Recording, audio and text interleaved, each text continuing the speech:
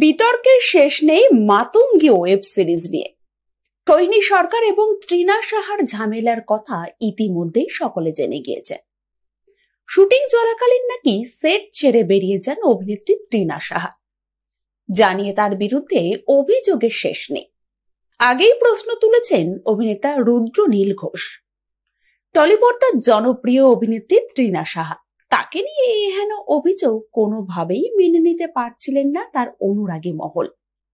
কিন্তু প্রথম থেকেই চুপ ছিলেন টিনা। কি হয়েছে আর কেনই বা টিনা সেট ছেড়ে বেরিয়ে আসেন?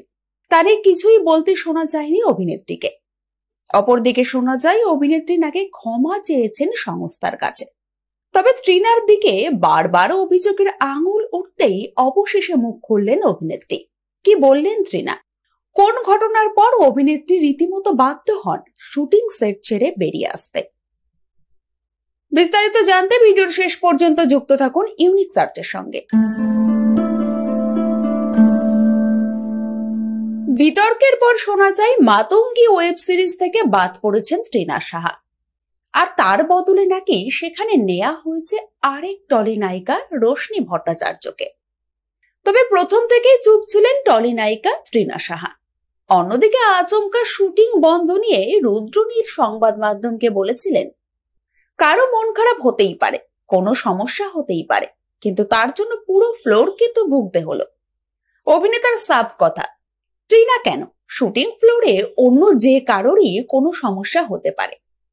কিন্তু যত বড় সমস্যাই হোক না কেন, ইউনিটের কথা মাথায় রেখে ফ্লোর ছেড়ে বেরিয়ে যাওয়ার পক্ষপাতেই তিনি নন। অবশেষে মুখ খুললেন অভিনেত্রী ত্রিনা সাহা। সেদিন ঠিক কোন ঘটনার সম্মুখীন হয়েছিলেন ত্রিনা অভিনেত্রী এদিন এক সংবাদ মাধ্যমকে জানালেন, প্রথমে ভেবেছিলাম যা ঘটেছে তার নিজেদের মধ্যেই থাকুক।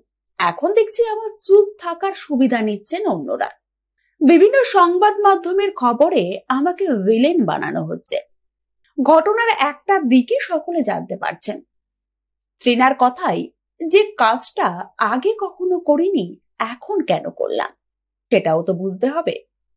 আমাকে চিত্রনাট্য শুনিয়েছিলেন দীপাঞ্জন দা শুরুতেই ওকে বলেছিলাম, আলাদা মেকআপ রুম লাগবে।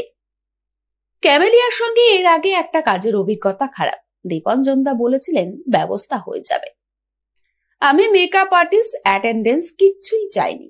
আমার বিরুদ্ধে যে কথাগুলি বলা হচ্ছে, সেগুলি মিথ্যে। অভিনেত্রীর কথায় প্রথম দিন তিনি আলাদা মেকআপ রুম পাননি। পরদিন আলাদা ঘরের ব্যবস্থা করে দেয়া হয়। তবে শট দিয়ে ফেরার পর ত্রিনা নাকি দেখেন তার জামা কাপড় জিনিসপত্র অপরিষ্কার ঘরের মেঝেতে পড়ে রয়েছে।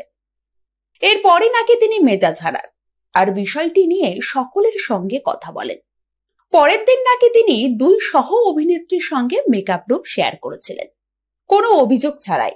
তবে সেদিন নাকি শুটিং হতে দেরি হয়, অথচ নাকি রাতের খাবারের কথাও বলা হয়নি। আরেক অভিনেত্রী সোহিনী সরকারের সঙ্গে ইগল লড়াইয়ের বিষয়টিও অস্বীকার করেন টিনা। অভিনেত্রীর কথায়, কে কি সুবিধা পাচ্ছে তাতে কিচ্ছু যায় আসে না।